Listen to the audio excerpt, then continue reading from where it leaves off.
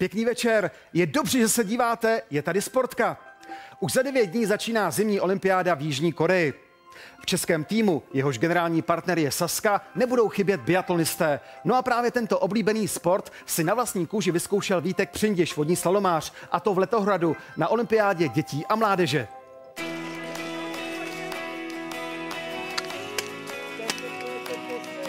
Ahoj, já jsem Vítek Přindiš, vodní slalomář a dnes jsem přijel do Letohradu vyzkoušet si biatlon, což je jeden z nejpopulárnějších sportů v současnosti.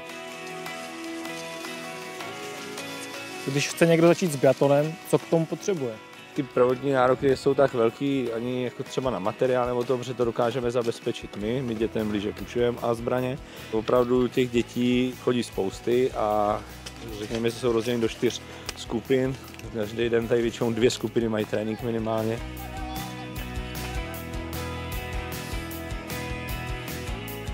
Sváťo, jak dlouho už se věnuješ biatlonu?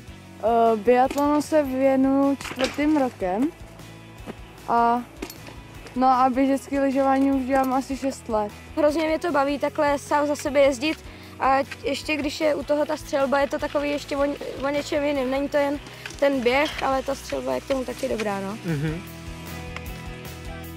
Je možné s biatlonem začít i v pozdějším věku? Ten začátek, jako řekněme později, okolo 12. 11. roku už samozřejmě je těžký, protože pokud člověk není vyložený talent a neprošel nějakým jiným sportem, tak se zařadit i do té skupiny, která už má nějakou úroveň, je velmi těžký.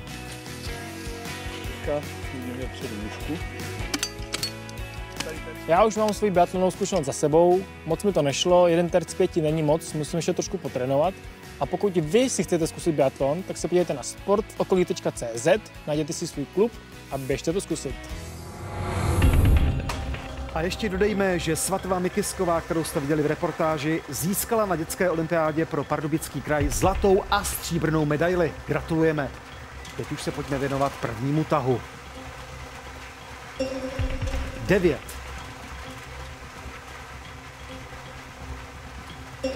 38. 16. 8. 42.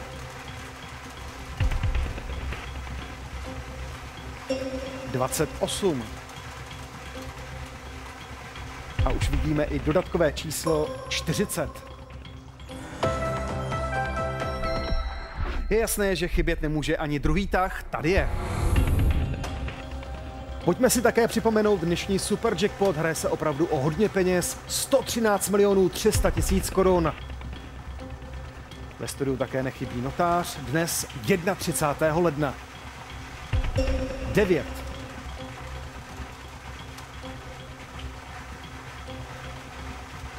29.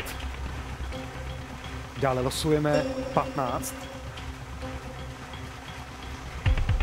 37. 42.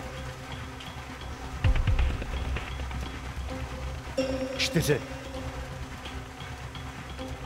Dodatkové číslo je 35.